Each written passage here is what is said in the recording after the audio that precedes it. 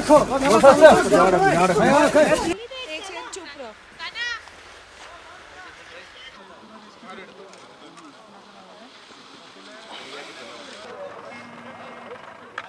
हमारी जब टीम पहुँची तो अ, मैं मेरी क्यू लेकर पूरा पहुँचा और उससे पहले जो डेथ बॉडी के साथ ही जो तब तक हेली आया उसके साथ वो भी मिल गया।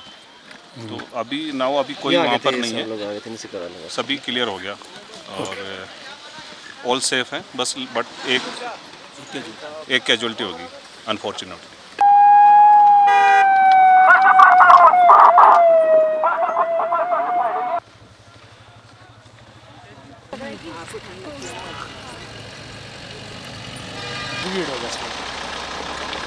Yung sa, yung sa ating ay.